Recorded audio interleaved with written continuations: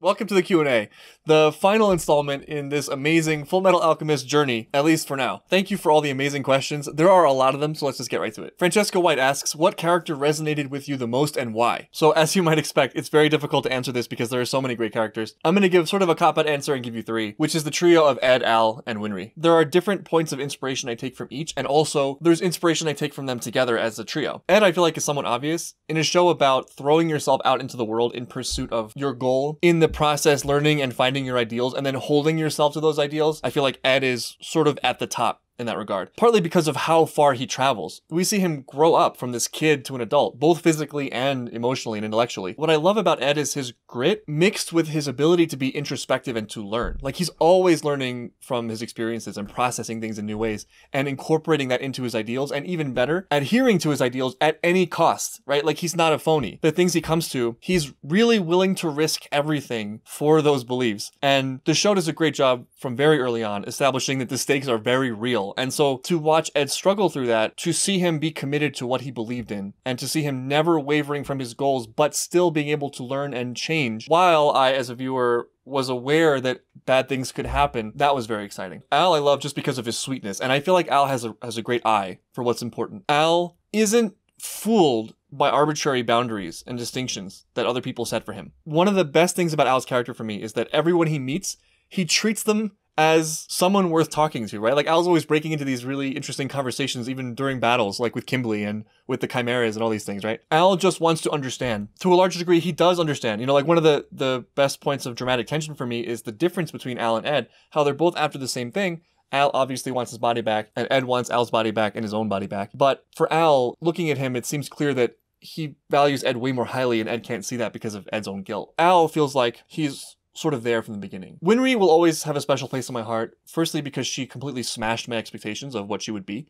I thought she would be like just the trope girlfriend or whatever, but she's so much more than that. Some of my favorite moments are with Winry, like the moment with Scar. Winry, you know, as strong as Ed and Al are, I feel like in many ways she's the emotional backbone. I think at some point she internalizes the idea that it's on her to look out for the boys, you know? That is a pretty big decision when you think about it because she's just a kid, but she does it and she does it well and she never complains about it. The only time I remember her, you know, having any difficulty with that is just feeling left out. But she takes on her role willingly and I think that's something we see time and time again from Winry. And I think a great representation of that is when she delivers the baby, right? Like everyone's panicking and Winry's like, well, I guess it's on me, you know, and that kind of thing I really love. She has an emotional strength that I think is rare. This might get into some controversial territory, even though this is only the first question, but I sometimes feel like femininity is seen as weak. And personally, I don't like that idea. I don't think being strong means being masculine, you know? And I think Winry is a great example of somebody who is feminine and very strong. Like, she's one of the strongest characters, you know? And so I'd say Winry is one of my favorite female characters of all time. I, I think she's really well done, and really well written. Michael Stollard asks, which character do you feel you were able to learn the most from? Did your perspective on anything shift over the course of the show, and if so, why? There are so many characters I feel like I picked up something from. So rather than a character, I'll give you a moment. From Ed. It was a moment that I think helped me refine something in a, in a way that was very satisfying to me.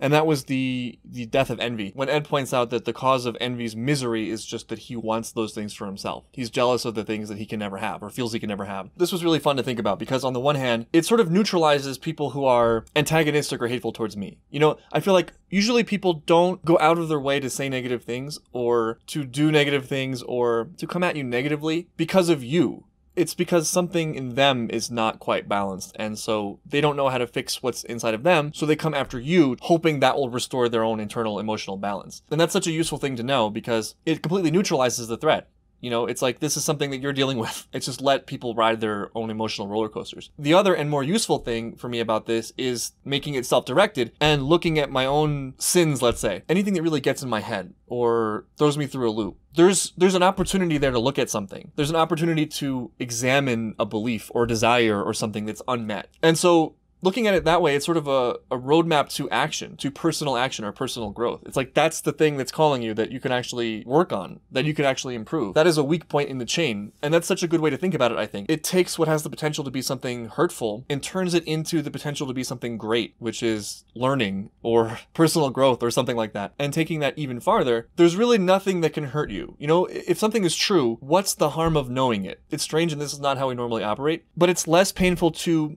accept a initially painful truth than it is to resist it and hold on to lies and keep that illusion up that everything is the way you thought it was. You know what I mean? That might be very vague, but to summarize, there's nothing about the truth that can threaten you. And so all the things that are causing pain in yourself and others are, are clues. They're signals that something is not right. Something is not aligned in the way that you're thinking about things or the way someone else is thinking about something. So I'd say that was a great moment. I love how collectively in that room, when Envy is, you know, doing that whole whiny speech, everyone just immediately realizes what's going on and the the veil is just lifted and all the hate is gone and it's just sympathy. Imagine how broadly practical that could be if applied, if everybody was doing that.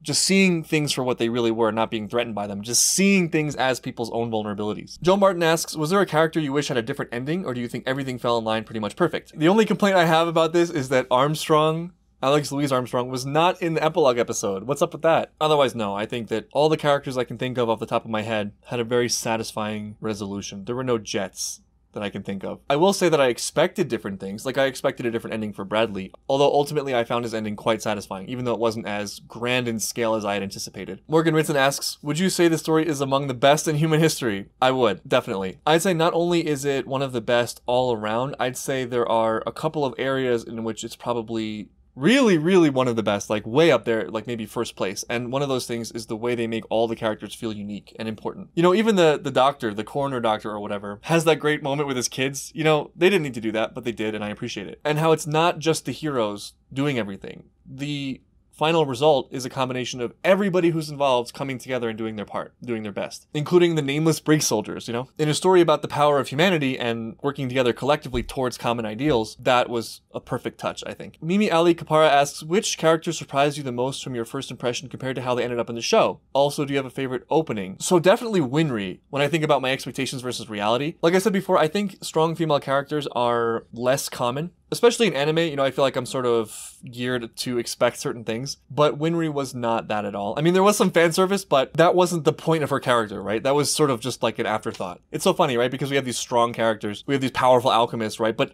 honestly, one of the strongest people is Winry. And I say that based on her choices and the fact that she shows up again and again, and the fact that she's willing to shelve her hate and do what she feels is right, even though it must be tremendously difficult. You know, even in a world where people are like watching these shows and calling for the death of every character they don't like. Winry is an inspiration. Wow, I just went back and watched the openings again and uh, like gave me such a good feeling. I don't know the names of the openings, but I'd say it's a toss up between the first opening, just because of the the feeling of starting the show and entering this dark world, like it gave me a thrill listening to that opening. And then the fourth opening, the one that goes na na na na na na na na na na na na. That one I love. Nick asks, what was your favorite arc and favorite character aside from Armstrong? Will you be listening to the soundtrack? Can I cheat and say the, the final arc? I mean, can't get any better than that, right? I'd say the final arc and also the, the beginning arc. Getting everything set up was very exciting. Before I started the show, I got lots of warnings about how the beginning of the show sort of rushes through things because they assume a lot of people have already seen the 2003 anime. And I have no reference point to compare between the two, but I can say that I love that pacing. I love the beginning of the show. There's just so much that happens. It's so dramatic. You get the whole world and you get the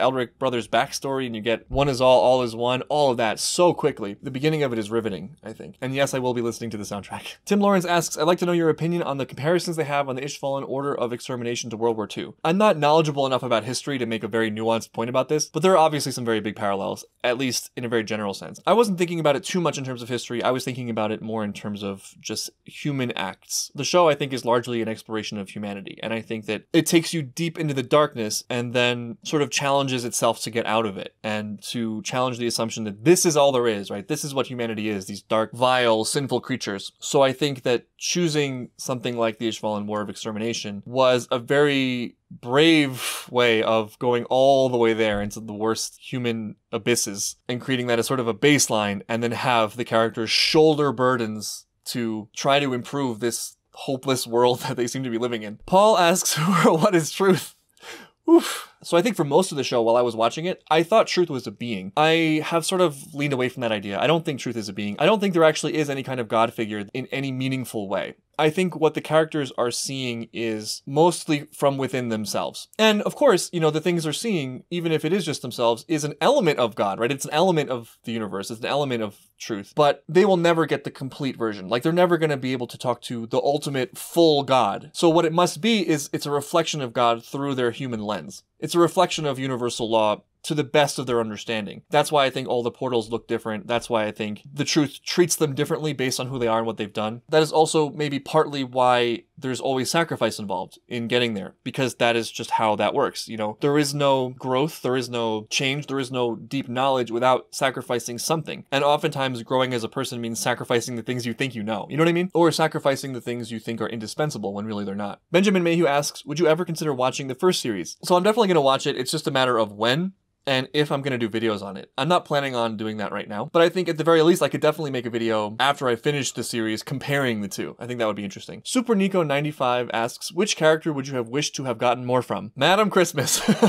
no, I mean, I really don't have an answer to this question just because this show is the epitome of using characters well. What was your favorite use of alchemy or favorite action scene? So I'll give a different answer for each. Favorite use of alchemy was definitely the Al Kimblee fight. I thought that was amazing. Favorite action scenes probably going to be Bradley taking on the tank. That is just engraved in my in my brain in my retinas. Partly because i made that ending screen with bradley against uh, vulcan raven from metal gear solid.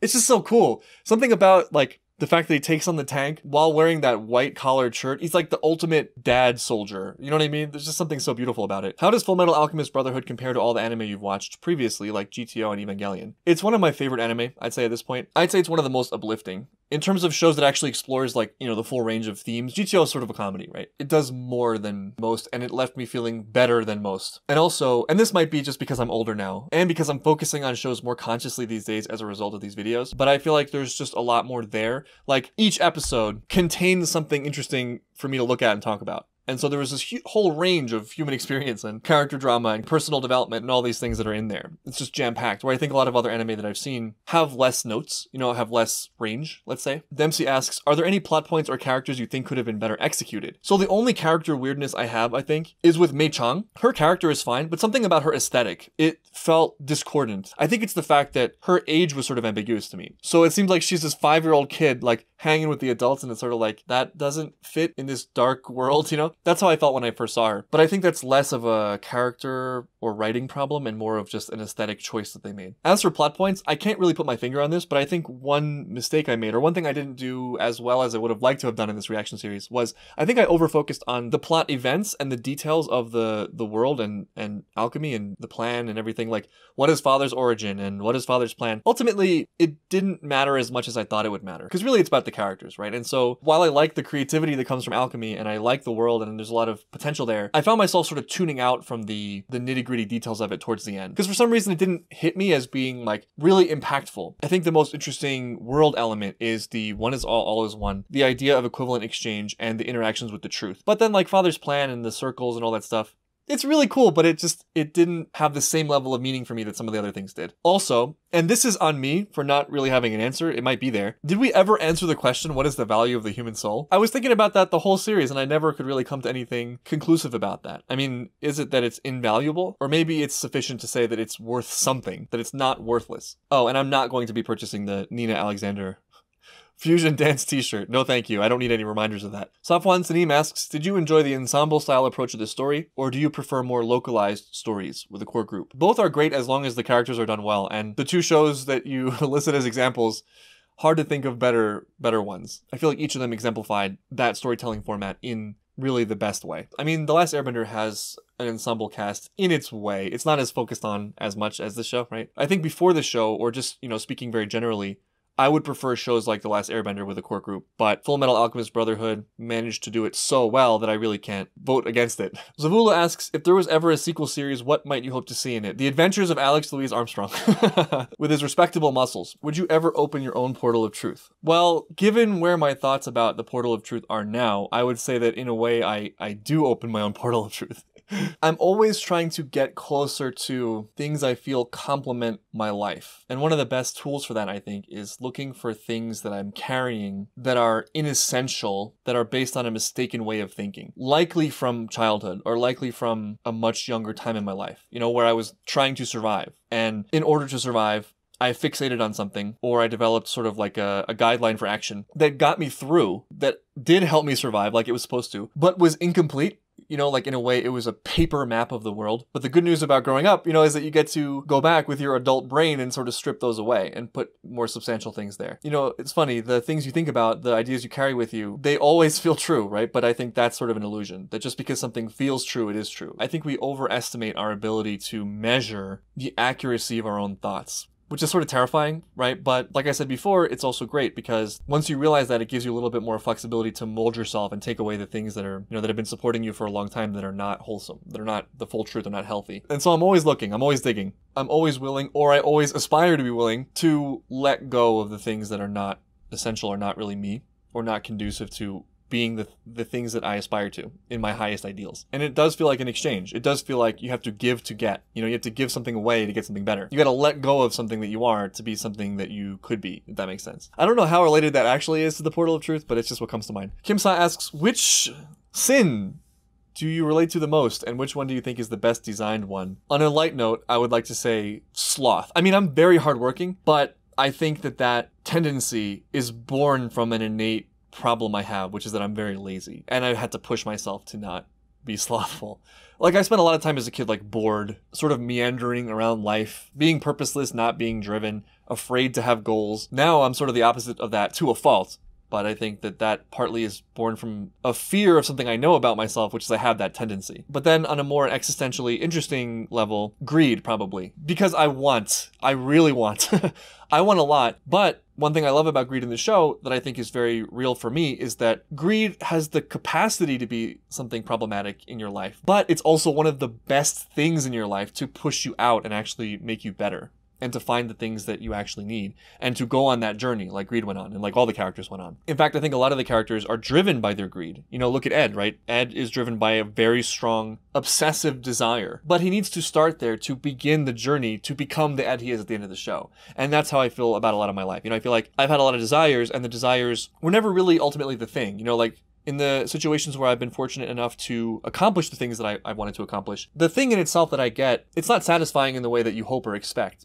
But the act of getting there always tears you apart in the best of ways, in that you're challenged so much that you're forced to adapt and to grow and to change and to learn. So I'd say greed is sort of a central point in my life that I kind of lean into. You know, like I go for the things that I want because I I treat it as radar. I treat it as radar for something that I probably need to focus on to get to the next level of my life. Also, I think it would be funny if you were to speculate how the original anime decided to change the story. I mean, there's so many ways I think it can go, but one thing I can imagine happening, and I actually think I've seen this in comments, is that I can see them making it a lot darker, just because the tone of the beginning of Full Metal Alchemist Brotherhood is way, way darker than I think the ending of the show because they start you off in that terrible place and then build you out of it. That's the whole point. But I can imagine if you're coming into the story and you only have that beginning to work with, you're gonna maybe stretch that out through the whole thing. Norin Rad says, It is my contention that Trisha Elric is the MVP and the reason humanity is saved. What is Trisha's role in the story and her impact on her family? Absolutely. I mean, she's very central to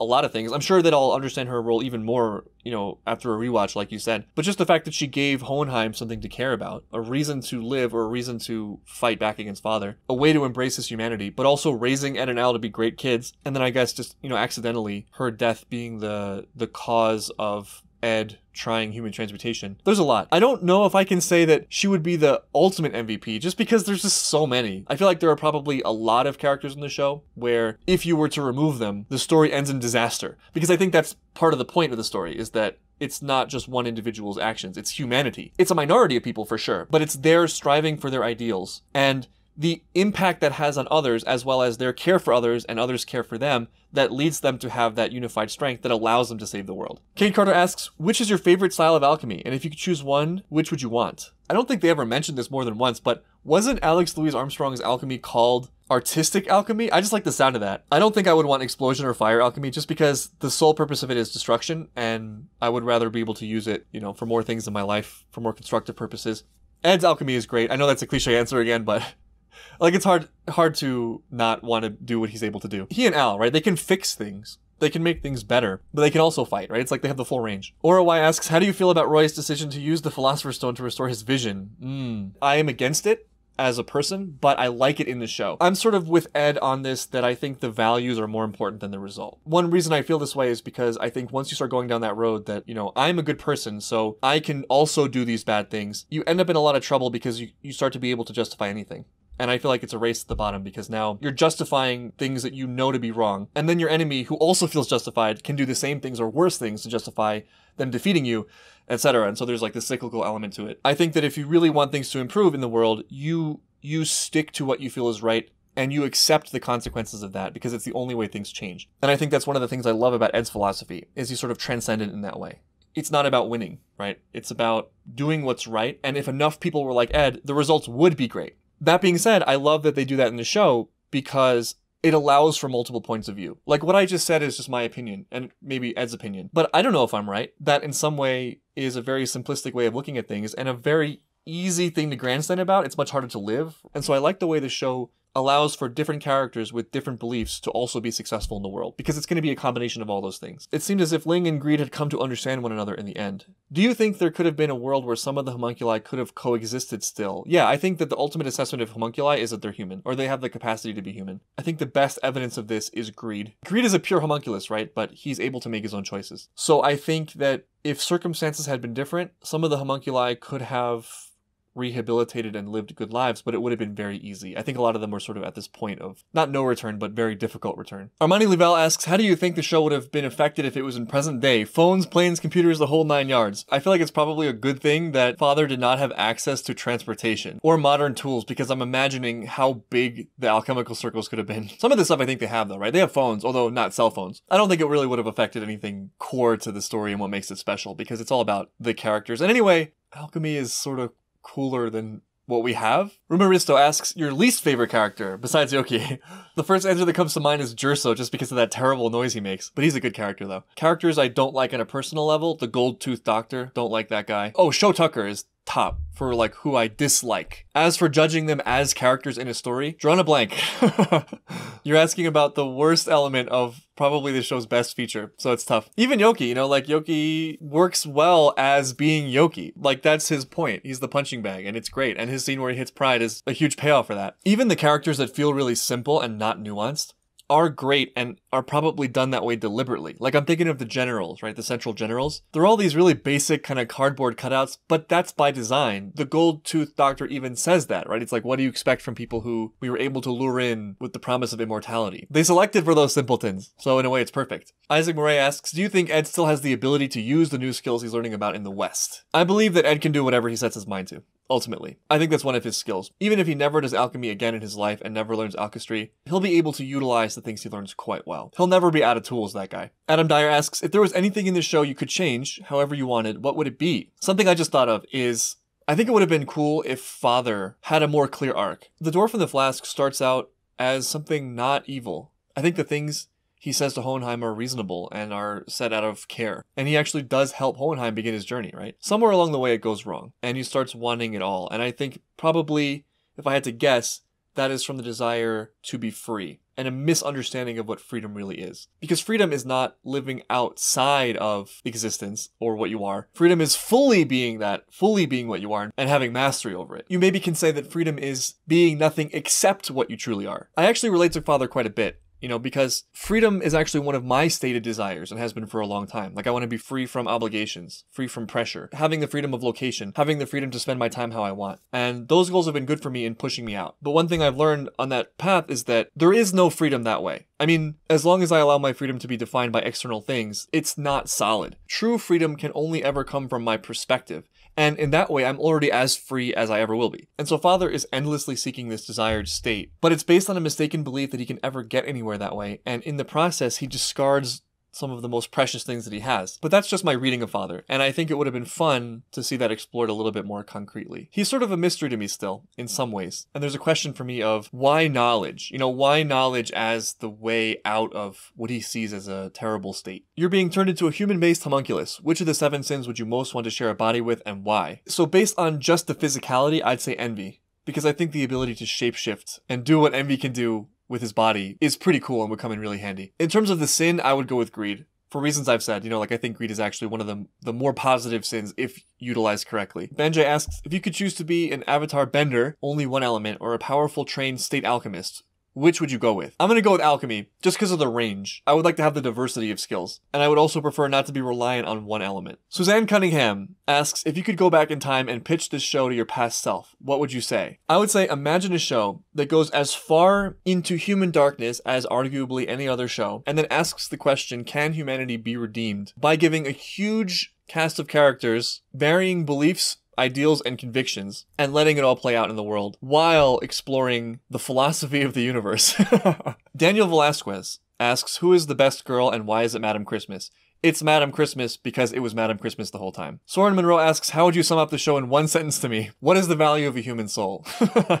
I still don't know. Christy K asks, would you recommend any books or films with similar themes to Full Metal Alchemist Brotherhood? Well, definitely The Last Airbender in the very rare chance that somebody watching this video hasn't seen that. Really, I think that there are a lot. You know, I think that anything that is this kind of long journey of a hero is gonna have similar elements or the same elements because I really think they are a map for life and there is an answer. There is an answer to how to live. I mean, it's not a perfect answer and there are definitely shades of gray in it, but the overall arc, I think, of shows like this, of the hero's journey and of Full Metal Alchemist Brotherhood and the assessment they make is correct. And that is something like everyone lives in ignorance to some degree, but there are things that show up at your doorstep so to speak, whether it be a person, or it be a problem, or it be pain, or whatever it is that contains inside of it a call to action or something that should be explored. And the desire is often to ignore it, to stay in safety. But the call is there, and the longer you ignore the call, the greater detriment to yourself.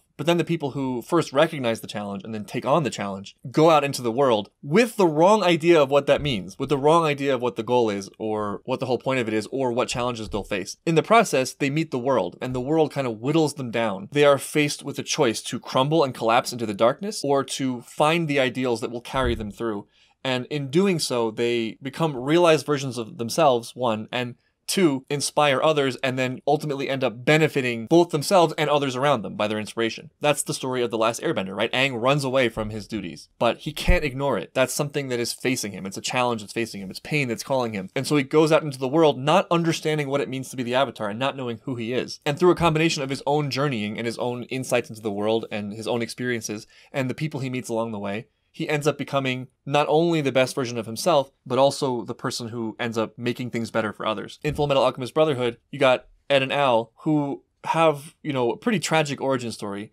and live in a very dark world and set out into it with a goal that is incomplete and sort of unhealthy in the way they approach it. But through their experiences, through meeting the people they meet and seeing what they see, they refine their ideals and become men, basically. And the act of them being the things they want to see in the world shapes the world. And a lot of other characters in Full Metal Alchemist Brotherhood are doing that at the same time. And it's the combination of all those people together that allows them to, in a sense, redeem humanity or to prevent a total slippage into the darkest abysses of of humanity and nihilism and hatred and disgust. It's through them stepping out into the world and putting those burdens on their shoulders and rising to the challenge and not losing sight that allows for humanity to actually be useful and be special and be meaningful. That really is the story. You know, it's not the only story, but it's it's the story for big shows like this or big movies like this. So really anything in that genre. I guess the question is more just like what does that very well and what does that honestly. And I think the point of watching these kinds of things is to observe that process and then to then try to live that process. Like it's not like Gandalf shows up at your house and is like, "Let's go. We're to throw the ring into Mordor or whatever." It's more like you have a problem or you have something that is bothering you at an existential level. That is your call to action. You seek to address that and you see where that takes you and you like try to be courageous in the face of it and try not to let it corrupt you. RMD Victor asks, "Will you read the manga?" So I actually have never read manga. I mean, I've read like the odd single book. I've never like followed a series. In the past, I've had a hard time connecting with comics or visual media like that, both Western and Eastern. Salinger asks, what was your favorite scene or moment of the show? I could not pick just one, so I'll just throw out a bunch of them. The gun scene with Winry and Let It All Out, Bradley's tank fight, the human transmutation of Ed and Al's mother, even though it's horrific, it's, it's just really unique and amazing. The Armstrong Sig tag team, Envy's final scene, Kimblee's return, the whole epilogue, Ed getting Al's body back. There's just so so many. I know I'm going to watch this later and think of like a thousand more. The whole show is just filled with great moments. Jaffa Diaz asks, most underrated character in the show. Trisha is maybe a good candidate. I don't really know what other people think about the characters, so it's hard for me to evaluate this. One character that at first seemed like a minor character that I grew to love was Dr. Marcoh. I mean, I think Dr. Marcoh plays a pretty significant role in the show, and I love his arc as well. Nubao Zug asks, What are your thoughts on Bradley's humanity possibly being tied to the fact that his body was never taken over by a homunculus. I think no matter what the reasons for Bradley having the conclusion he has, where he, he seems to kind of accept his humanity and appreciate humanity, it's clear that it was possible to do that as a homunculus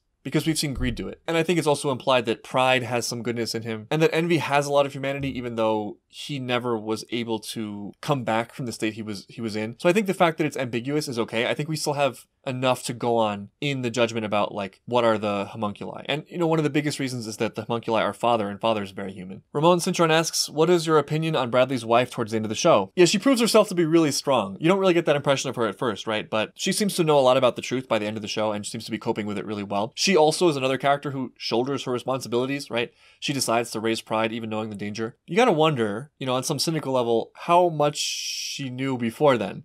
Probably nothing, but I guess it's possible that she knew more than she let on. This is Full Metal Alchemist after all, right? Where there's always layers and there's always chess games being played. Samuel D. Baum asks, Do you think the dwarf in a flask got dealt a bad hand? Was he ever capable of understanding humanity? As I mentioned, I think this is one of the things I would have liked to have seen more of. I would have liked to have seen this been explored more fully. I think that, judging by some of the themes of the show, that he had a chance. I think everybody has a chance. The homunculi show signs of being redeemable, even though most of them aren't. So I think it was possible. I just think that he got carried away. I think he represents the capacity in humans to fall into those sins deeply, or to live in a state of disdain for others, or disdain for the world, or a sense of nihilism, or the sense that one knows better than others, right? The pride thing. The belief that you can see things more clearly and everyone else is stupid. The desire to be better than others carries in it an incorrect judgment of what others are, you know? I think that is just sort of his role. Logan Bradford asks, who has the best character arc and why is it Hohenheim? Well, it's Hohenheim.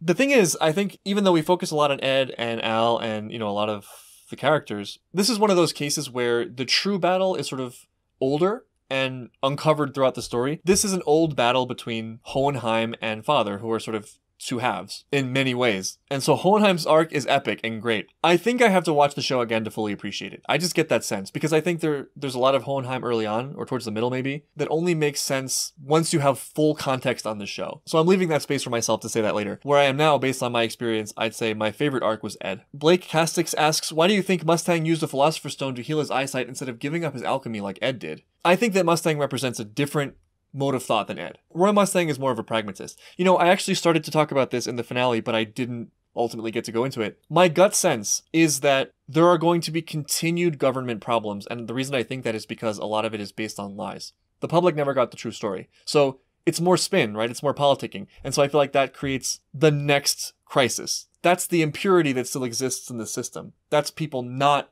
recognizing high ideals. And this is reading way into it, but I actually think that the prologue is referencing that when they say that one journey ends, but it's never truly over. This show is all about cycles, right? So I think that the journey is not over for Roy. I think that Ed and Al are more complete, more realized. I think they've sort of done their arc. I think Roy completed an arc, but he still has more arcs to go. There are still really serious arcs for him and the other people involved in the, the governance of Amestris. Cosmotron asks, what are some of the relationships you enjoyed the most? Like you, I also think it's Ed, Al and Winry. I think that the three are meant to be a trio. I don't think there's any one of them without the other two. Davey asks, how did the fact that there were technically no seasons dividing up the show affect your viewing experience? Did you enjoy the pace of the show overall? I didn't think about it at all. I don't think it had any negative effect. It's interesting though, because I'm still sort of aware of arcs. You know, even though they weren't demarcated, you can sort of feel where an arc ends and another one begins. But overall, I don't think it really affected me that much. And the pace of the show, I think that there were moments where it dragged, but overall, I think the pacing was excellent. Alice1510 asks, asks, Do you have a theory on how the Xerxian alchemists made the dwarf in the flask? And do you believe every person has their own portal of truth? So I don't really have any theories on the dwarf in the flask. That was something I was looking forward to, but I think that it's not really that important ultimately. To me, the takeaway is just that, well, he's created by humans. He comes from Hohenheim, who's human. He represents darker elements of humanity and darker outlooks on humanity. It just occurred to me, actually, that maybe his desire for knowledge is an extension of him being born out of a desire of others for knowledge. It's conceivable and seems somewhat likely that the people who are trying to make him were aiming for the same things Father later aimed for, which is like power above humanity. So that's just a small thing to throw out there. As for the portal of truth, I think that everybody has their own portal of truth, but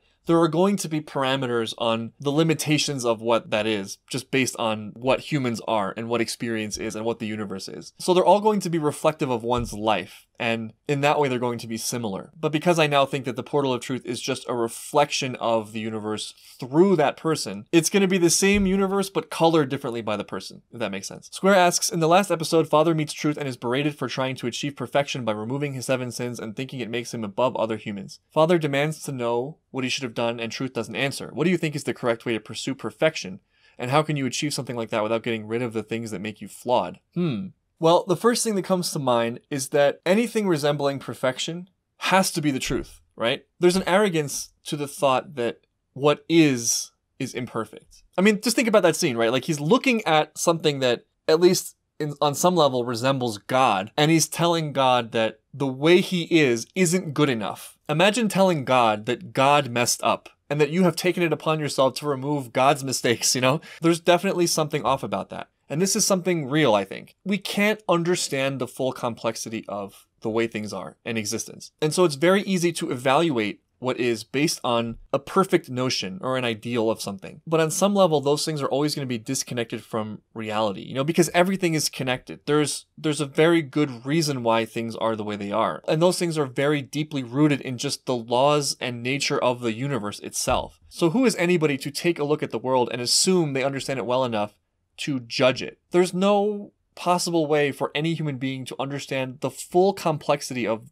of existence and why things are the way they are. This might sound weird and counterintuitive, but on some level, things already are perfect. So thinking you can do better than that, you're going to go wrong somewhere. You're missing something. But that creates a problem, right? Because if that's the case, then everything's great the way it is and we should never do anything. But that's not what I'm saying. I think that the key is to try to be as most aligned with what you actually are you know, with what humanity actually is, and to, as I said earlier, strip away the things that are, are illusions and try to get to the core of just life. You do have autonomy in life, and I think part of that is because the universe wants you to have autonomy in life. Like the fact that it is means that there's something there. There's something valuable about it. One thing I think I talked about a bunch in the show is the idea of like a universal will. And it's not the kind of universal will I always used to think about where there's like, you know, some human like being sort of pointing fingers and making things happen. It's more like there are just laws in place. There's just a basic structure, and that basic structure creates a chain of things happening. And based on that chain of events, you can attribute something like value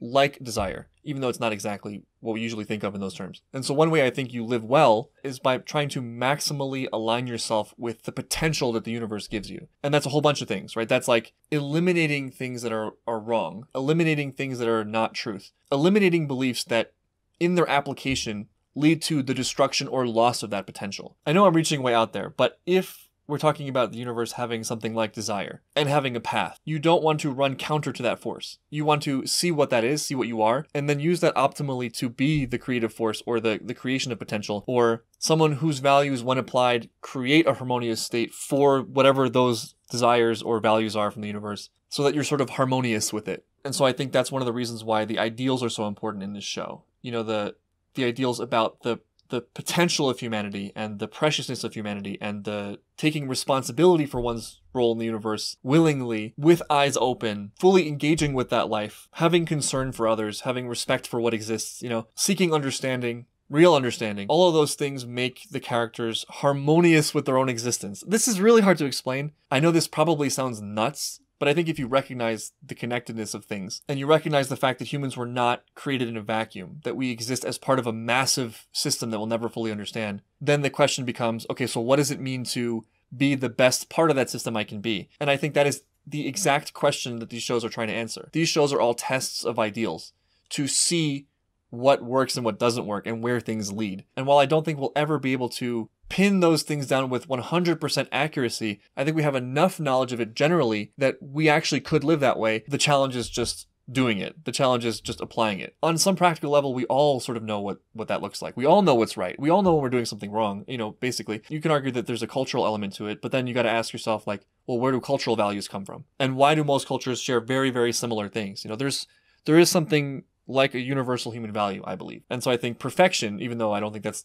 the best word for it, is about slipping into that as perfectly as possible. And evil would be not appreciating it, being disconnected from it, or trying to destroy it. The Bird of Hermes asks Kimblee, the best character or the best character? Maybe the best villain, I'd say. He's awesome. That last scene really cinched it for me, I think. Scott McKennedy asks, Do you also believe Riza and Roy are canon? I don't see any reason why not. It definitely seems like there's something romantic between them. Who's Roy gonna choose instead of Riza? Some girl at the bar? Well, it's possible. Possible. They've been through too much. Yusuf asks, Who would you pick to be your girlfriend? Winry, Krista, Historia, or Katara? Winry, Winry, a thousand times Winry. Winry is sort of my ideal in many ways. She's strong but feminine, as I said. She's also talented. I love girls who are talented. I'm very attracted to girls who have skills and passions. It's something that I love. In people in general, but that extends to romantic partners. I like people who feel alive and connected to the world, you know, and Winry feels like that kind of person. Katara also is, but Katara has a personality that I would clash with. We would fight constantly, and I'm not looking for that. Swazami asks, how would you compare Scar and Zuko's villain to hero character development? That is a great comparison. I would say that Scar goes a little bit deeper into the darkness before getting pulled out, right? Like Zuko, we we come to learn he's just sort of an innocent kid. I don't think he really does anything totally wrong. But Scar kills, you know, so there is a larger hill to climb, although that is probably just a function of the target audiences, right? I would say Zuko is a little bit more relatable for me than Scar just because I feel like Scar's tragedy is very specific to him and something that I'm very thankful not to have experienced. Whereas Zuko, even though he's experienced a lot of trauma in his life, there are things about it that I feel are more relatable to me. Like, for example, his relationship with Ozai it's extreme and he's the prince, right? But at the root of it, it's family drama. It's having expectations placed on you. It's trying to find your role in the world. Scar, I think, is a little bit more about ending cycles, ending the cycle of tragedy, rising above people who have wronged you, taking your rage and your desire for revenge and channeling it productively, which is great. And I especially love the the metaphor with the arms, you know, the destruction and reconstruction. That's such an awesome moment for, for Scar. But Zuko's arc, I think, is a little bit more relevant to my life, thankfully. One thing I like about both of them is not only do they come to terms with things emotionally, but then they go back and fix the things that started the problem in the first place, right? Like Zuko sort of heals from his his pain, but then he also becomes the Fire Lord, right? It's like both. Scar too, right? Like Scar gets over his rage, but he also goes back and makes Amestris better, makes the world better. And that is something I love. I love it when there's that tandem journey of like introspection and internal growth and using that to actually affect meaningful change. Minimoni asks, since Ed's main goal was to retrieve Al's body, what do you think he would have turned out if he never managed to attach Al's soul into that armor? I think that had Ed lost Al in that childhood scene, that would probably have been it for him. I don't really see him recovering from that. He had a lot of guilt about it as it was, with Al being there but in a suit of armor. Imagine if Al was just gone. I don't think he would have given up. I mean, I think he would have used that as motivation to take action and try to find a solution. And so there's a chance that a similar journey would have happened where that pushed him out into his life and he learned the things he needed to learn to be successful and a good person. But I think there's a much greater danger that he just lives in darkness and, and never has any realizations and pushes people away and just hates himself and becomes something more villainous. Quaid Hudson asks Darius, Heinkel, Jerso, or Zampano? Not Jerso. I'm gonna go Heinkel because of the Al scene. Joey Joseph Jojoson wants to play Marry Bang Kill. Bradley, Kimblee, Truth. um, so you're just not going to give me any female options. All right, that's fine. Damn, this is hard. this is the hardest question so far. you marry Bradley. Marry Bradley. He has proven himself to be a good husband. You bang the truth because why not? That would be an experience. And you kill Kimblee.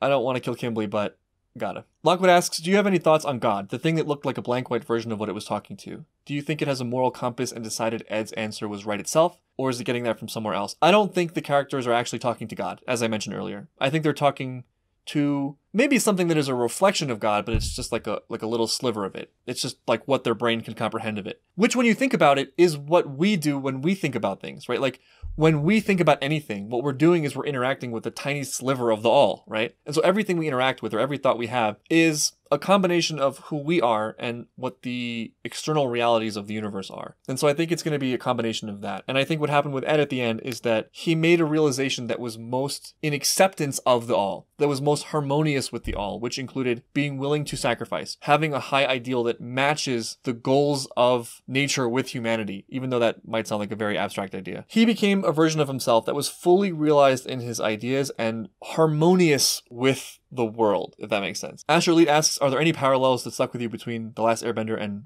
Full Metal Alchemist, such as Zuko and Mustang. Interesting, another Zuko comparison. I wasn't actively thinking about it, even though I was watching both shows simultaneously. I think that there's a broader parallel that exists in just all of these stories, which is the journey of self discovery through values and through action. More specifically, you have the tragedy, right? Like you have a world of tragedy And then you have characters going out into that tragedy and not letting it crush them and learning who they are, but then also fixing the tragedy and sort of like the ultimate culmination of humanity. Another parallel that I like is that the characters are allowed to be flawed. That's one of my favorite things about The Last Airbender, and it's also true in Full Metal Alchemist. Everybody's got their things, right? Everyone's got their stuff, but that doesn't stop them. That doesn't stop them from growing and it doesn't stop them from doing great things.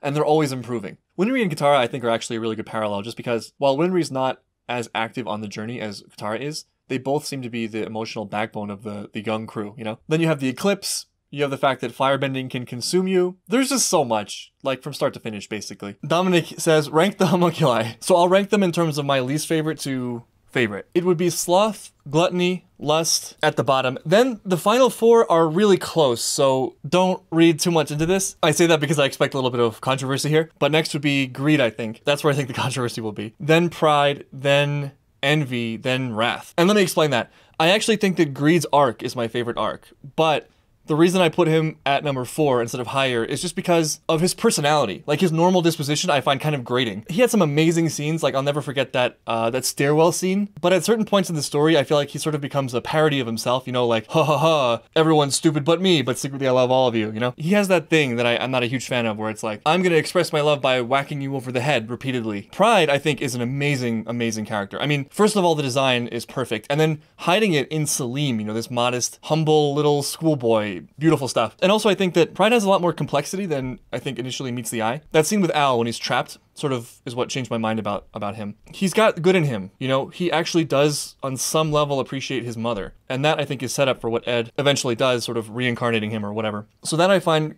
really intriguing and kind of subtle and understated. Then Envy because the amount of emotion I felt during that final Envy saga top notch. And the insights that come out of Envy are are brilliant. The way they handle that with Ed is just there's there's not much better. I don't really have many examples of more insightful moments. I'm actually tempted to bump Envy up to first. The reason I put Wrath at the top, and again, these are all very slim margins, right? Like, if you ask me tomorrow, I'd probably come up with a totally different ranking. I mean, he's just awesome from start to finish. He has some of the best scenes, both in terms of action and in terms of character development and conversations and subtleties of who he is. I felt the most intrigued by him for the duration of the show, and I had so many wild projections about where his story was going partly because I think he's one of the richest characters. And while almost none of my specific predictions for him came true, it was still satisfying in the way I was looking for, where he actually did have a resolution. You know, he did sort of end as this realized person, which is bizarre because he's so evil and we're supposed to hate him and he's done all these terrible things but you know he died on his feet i mean not literally but metaphorically speaking he died a man and there's something so powerful about that for someone who was born into nothing who was trained to be sort of this mindless follower he ended being in control and being fully accepting of who he was in his own life. You know, I can't really explain it, but even in his death, I was forced to respect him, right? There was no moment that I can remember of wavering or weakness from that that strength that he embodies. I really feel like he is on some level an archetype, you know, like a traditional masculine or male archetype. Ultimate dad, right? But ultimate evil dad. but there's some good in there too. There are qualities to aspire to in that, and he represents such a solid and clear form of those qualities. I feel affected by his character. Darren Storm asks, How did you take Greed's death, and would it have been good to keep him as the only living homunculi if he had not died? Could they have won without his actions? So I didn't rank Greed super highly in my list of homunculi, right? But I definitely think that his arc is one of the most satisfying and definitely the most heartwarming. And also I think in a way is maybe the most relevant to my life. You know, like I've talked about a lot in this series and also in this video. Greed, I think, is in a way, an answer to some of the existential questions of life about where do you go? What do you do? You got to make sure that the greed is not the total thing, right? But the greed is sort of the compass to point you towards the thing, or it can be. I think that's that's one way to look at it. And I think Greed's arc represents that very well, where he goes towards wanting everything, you know, like being insatiable, but in the process, finding things of actual value that are, are more sustaining, more enduring than his external goals. It's a cliche, right? And when you're watching that final scene where he's like, you know, this is all I really wanted, you know it's a cliche, but it still hits. It hits well because it's real. That is true, you know, it's a cliche for a reason. That is actually the journey. And Greed earns it. Most of the characters, and not all the characters, earn their earn their cliche moments, you know? I can imagine a scenario where he lived, and I think it would have been fine. Him dying selfishly gives it a little more impact, but if we're asking would it be safe for the world? Absolutely. I think that the show establishes pretty clearly that the homunculi have a chance for redemption. You know, they're they're human ultimately because Father is human and they come from Father. And we've seen them be able to learn and grow and think. Greed is probably the best example of that. And could they have won without his actions? I don't know if they would have been able to beat God had Greed not turned him into a pencil. Marge Morales asks, Who is your favorite character? I know it's Armstrong. It's Armstrong. Armstrong is probably my favorite, let's call him non main character, although that hurts to say in a show like this just because they all feel kind of essential. But you know what I mean. Ed is my favorite protagonist. I know all these Ed answers are really cliche, but that's the truth. Favorite villain would be a toss up between Kimblee and Bradley. Favorite NPC, Get a Lamp Guy. Shout out to him. Would you consider reading volume 15 of the manga? So I mentioned I'm not really a big manga reader, but I would be willing to read one particular volume if there was something special about it. What is volume 15? It's not Nini Xander, is it? Because no, I will not read that. And do you plan on watching any more Full Metal Alchemist material? Well, I will watch the OVAs. I'm not sure if I'll make videos on them, but I gotta watch them. I gotta complete the journey. Stripey Kibble 65 asks, What did you think about the conclusion with Scar and his name? The name thing is sort of whatever to me, but one thing I really did like about that is I like what he said about how he died twice. That was sort of a, a very dramatic but poetic way of looking at it. He did, right? He did die. He was a radically different person at the end than he, he was at the beginning. And so that element of it I liked. I liked the recognition of change. Mikasa Ackerman asks, which episode is your favorite? We all know it's episode 4. What's episode 4? Oh, no, no, no, no, no. No, no, no, no, no. No, no, no. Well, that was definitely an engrossing episode. I'm gonna have to say episode 63, the, the finale episode. Because even though I enjoyed the show the whole way through, that ending was so perfect, it enhanced everything that came before it, if that makes sense. Shelby G asks, who did you agree with the most and or see yourself reflected in the most? Is it arrogant if I say Ed? I mean, he's the main character, so I feel like that's partly by design, right? But more than that, I think my personal philosophy leads me to admire him the most for his conclusions and his conviction. I'm open to the idea that this is an incomplete way of looking at it. But the older I get and the more I think about it, the more I think that values are king, ideals are king, and aiming only at results is extremely dangerous and problematic. I don't embody that with as much conviction as Ed does, and I probably never will, but I definitely admire that the most, I think. Sebastian Kohler asks, What is your POV on humanity striving to become godlike? Could it possibly harm or destroy humanity? So, this is an endlessly complex topic. My first thought is that I think that there's good and bad in this at the same time. Like, I think it is in our nature to strive for things and to create and to try to improve our lot.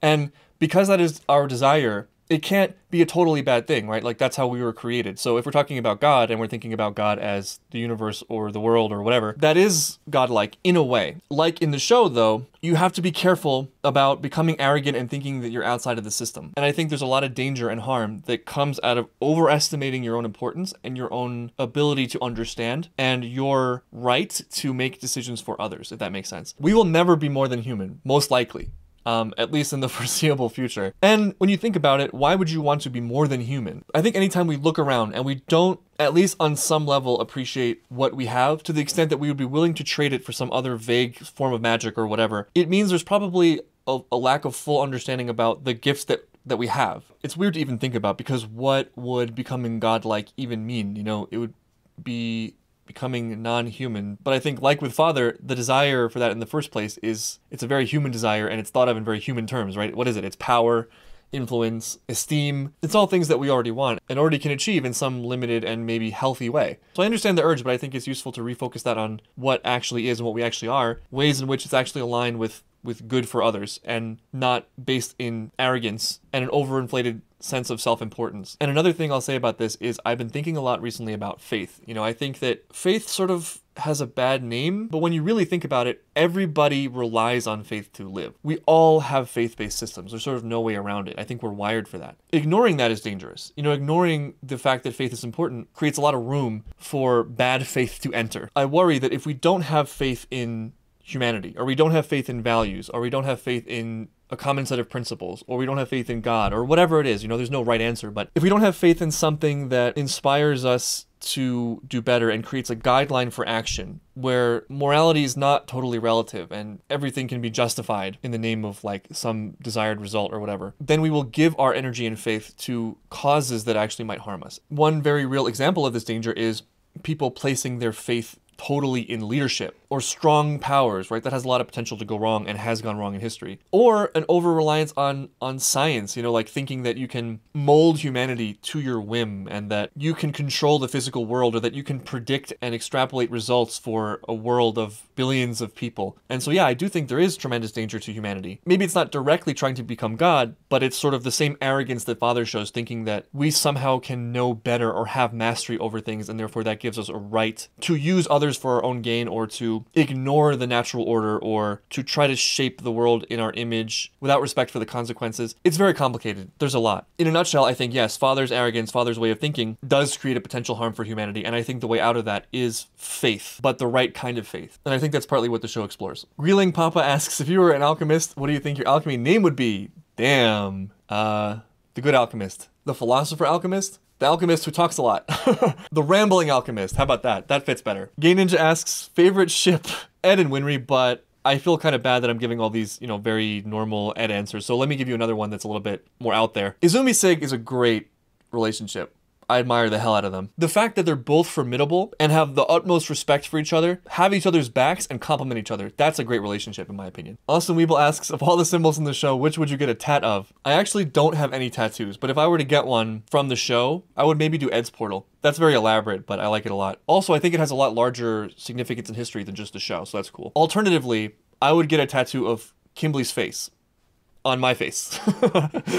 Sir Dorian asks a question about human utopia and the dangers. Do I agree that you can't create a perfect society made up of imperfect individuals? I think that utopia is a dangerous thought, but I don't think it's the it's the goal necessarily or the dream. I mean, I think that for me, utopia is conceivable, but I think the danger lies in how do you get there? And if it's something based on using others as tools or one person or a small group of people seeing themselves as more important or elevated from other people and using that as a justification to destroy them, or building a utopia based on something that's not sustainable, or based on something that ignores human nature, or is based on a lie, or requires devastation to enact, is going to fail. There are natural realities to our world, and our world is extremely complex, and it's, in my opinion, impossible to master. And so it will not come from top down policy. It will not come from a wise king or something like that. I think it has to come from the combination of each individual reaching an ideal. And that is probably you know impossible to be realized but i think that we can probably get a lot closer. But i think it starts internally you know it starts with the things that we can we can control healthily and that really is just our own beings you know our own thoughts and our own actions and being willing to seek the truth and being willing to sacrifice and being willing to find and embody virtue and not take shortcuts and not see other people as tools and dispense with the sins you know dispense with arrogance pride wrath etc that i think is what improves the world. And i think one of the messages of the show that i really like is that you can't force it. You know you can't you can't be great and force the world to adopt that.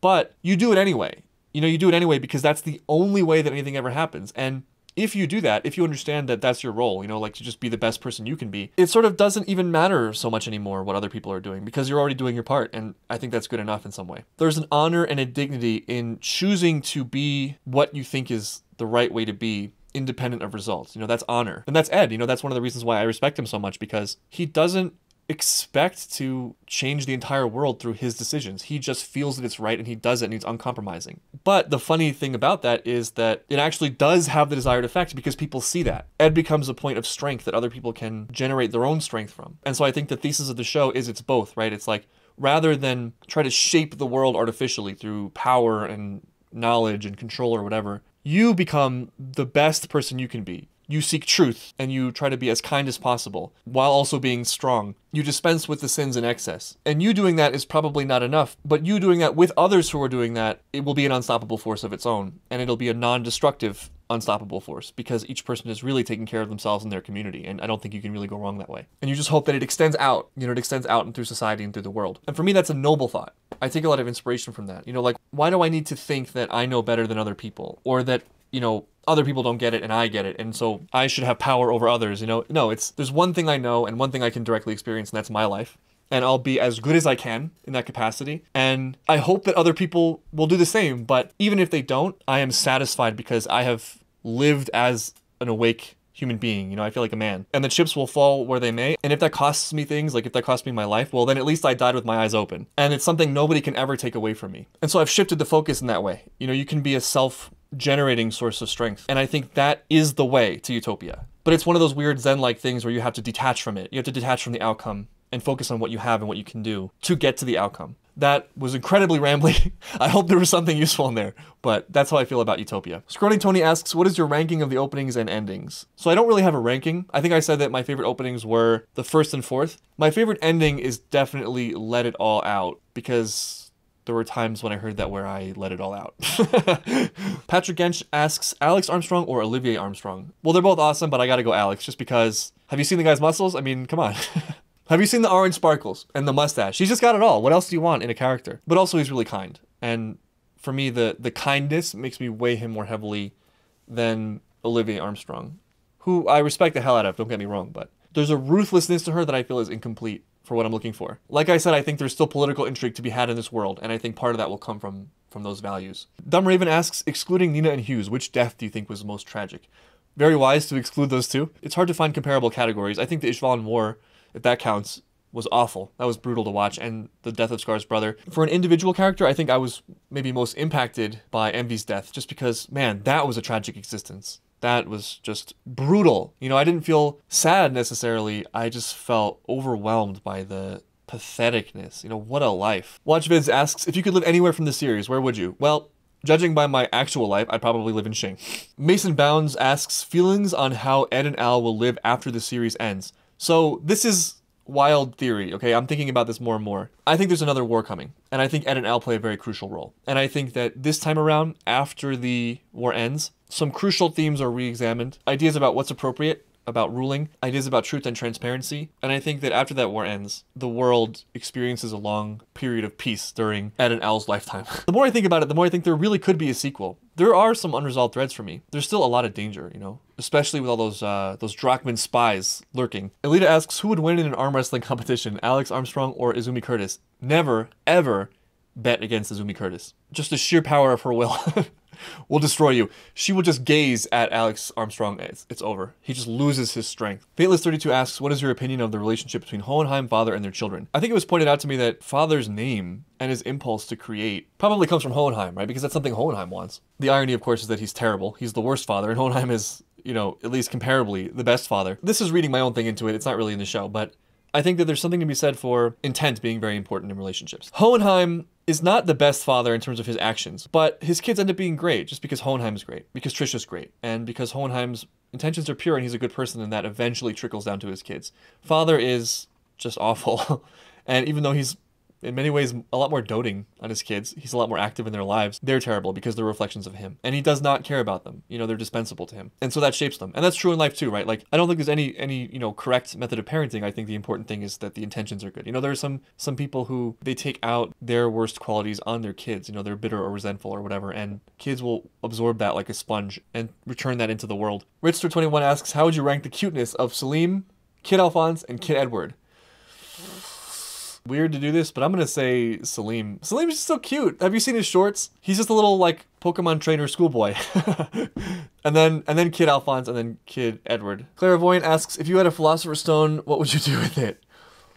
I couldn't use it. I, I couldn't. I would I would preserve it in the hopes that maybe I could find a way to restore the people's souls. It's dark magic and nobody can convince me otherwise and I wouldn't use it. Well, that's what I say. I mean, that's what I aspire to to be like. in real life I'd probably like turn it into a car. I don't know, something really stupid like that. Joseph asks, if Father's plan worked and he did successfully absorb God, what do you think would be his next step? Cry in loneliness. I think he's a human being. I think he's very sad, very lonely, and he's looking for things that he thinks will make him happy that will never truly make him happy. Greed had the right idea. Ryan Bix asks, how do you feel about the fact your parents named you after a man who takes his shirt off regularly? I feel honored. The value of my name skyrocketed for me after watching Full Metal Alchemist Brotherhood. The only thing I regret is that my parents didn't give me orange sparkles or yellow sparkles or something. Andreas Adamic asks, I felt the show's dark tone shifted to something too positive around the Basque conflict. I get what you mean, and I found myself kind of surprised by that because the show starts off really dark. But the more I think about it, the more I think that's intentional because we and the characters enter into this dark world, and it's really the worst world, or like one of the worst worlds. The only worst world would be Attack on Titan. But that's a setup to explore an ideology. I think that setup is something like, okay, let's for a second, for the sake of argument, say that things are as bad as you can imagine. Here are all the worst elements of humanity and human actions. How do you live? How do you get out of that? How do you find meaning and value? Who do you want to be? And I think that the the show through the characters answers that question in a satisfactory way. And that's why the show gets lighter because they are carrying the world to a better place. And so by the end of the show, it's triumphant. And that to me feels not like plot armor or not, you know, like wishful thinking or anything like that. I think the characters earn it through blood, sweat, and tears. And I think that's part of what makes the show so satisfying. By the way, for all the comments about me taking off 420, it's just a coincidence. Don't read too much into that. 420 is not not really my thing. Sorry to disappoint you. Which is not to say I don't have my my other things. Have you guys seen Fruit Saga? I'll leave it at that. Hummum asks, How's your heart? Hurting too much? It is exploding with goodness and warmth and hope in humanity. One thing I've been working on a lot in my personal life, and the show has helped me tremendously with this, is creating a shield, an impenetrable shield of sorts, you might say, against cynicism. I think there have been periods, especially over the last year, where I found myself getting very cynical about people. And I've realized recently that's a huge mistake, that I have to keep my heart open and I have to have hope for people. And I have to treat everyone as if they have the potential to be great. I have to protect myself, of course, right? I have to not ignore the realities of the world, but I have to keep an open heart. And I can't allow myself to get jaded because nothing good comes out of that. And that feels good. It makes me feel strong. So my heart is is good. My heart's in a good place. All right, so that is the end of the Q&A. I apologize if I if I didn't directly answer your question. I tried to answer one of every type of question at least. I'm sure I missed a whole bunch. There were hundreds and hundreds of questions. Thank you to everybody who left a question. These are some really great, thought-provoking things. This is a lot of fun to do. Just doing this is making me appreciate the show more and realizing how much there is there thematically. It's always tough to do these Q&As because there, there's sort of a finality to it where now, you know, I've done the video and it's up. But the truth is, whenever I finish a show like this, I think about it for for months and months and months, and I always come to new conclusions about it. And I could easily do like a follow up video in a year or whatever, but you know, it's just where do you draw the line? You know, I could be doing I could do a daily video like this. In summary, Full Metal Alchemist Brotherhood is one of the most rewarding shows I ever watched. I'm deeply, deeply grateful to everybody who recommended this show to me and voted for it on the poll way back when. It was a great experience. You guys have never let me down yet.